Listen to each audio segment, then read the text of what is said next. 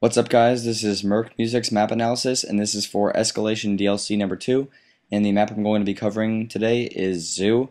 And um, I actually have a glitch to start off the video with that you're going to see in a couple of seconds. It's pretty interesting, it's not that big of a glitch but um, it is pretty cool to try out. So um, yeah, here I'm at a private match and I'm standing right where the glitch is. And you're going to need a SAM turret, care package, sentry gun, or Valkyrie rocket package uh, crate, or yeah, the crate that you need to jump on because you can't normally get to the fountain by any other means. So yeah, you just need to wait for it to drop down near the fountain, and uh, you're just gonna jump on top, and you can basically get into the middle. Uh, it's kind of difficult for people to see you, but they still can, and they can shoot you just like you can shoot people from there. So yeah, just a minor glitch that I thought I'd show you guys. And here are the hiding spots. And I'm starting it off by showing the uh, stairway. Right. Basically, you can just look at a whole bunch of different spots uh, from this stairway, and I'm also going to be showing the monorail. So I'm just walking on the monorail right now, and that little platform area, there's actually a staircase that you can use to get up to the monorail from here. But you know, you always have the option to go on this side or the side that I came from from the beginning.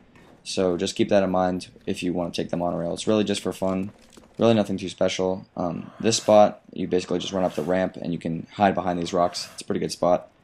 Uh, this spot right here, you can take the ladder up and you can look at a whole bunch of different point, uh, spots. I try to say spots and points at the same time, of course. But um, you can lay down to take cover, and really the only way they can shoot you is if they're using hardened or they basically spray at you a lot. Uh, here, it's really not that great of a spot. It's just a quick spot that you can hide behind and um, take cover just in a quick moment in the game, so really nothing too great. Uh, here are the maneuvers, and for this maneuver you're going to jump on top of this ledge, and you can actually get on top of a pretty decent hiding spot, to be honest. I probably should have shown that. So, yeah, I guess that's a hiding spot as well if you want to use it. Here's the aquarium. I'm pretty sure everyone's aware that you can knife the windows, and uh, basically just provides two secondary paths instead of the primary path. So it's actually pretty good if you want to hide from enemies as you're going that way. And uh, here I'm just demonstrating that it's easy to see through the windows if you're behind it, but it's hard for people to see on the outside. So yeah, here's the douche spot. It's uh, it's basically just like every other hiding spot.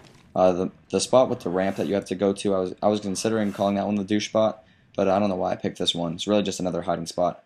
Uh, here's the wish list spot, and you're going to jump on top of this thing, and you cannot get on top of that cart or into the cart and it leads to the second monorail on the map, and it's really disappointing that you can't get there, so I just thought I'd point that out.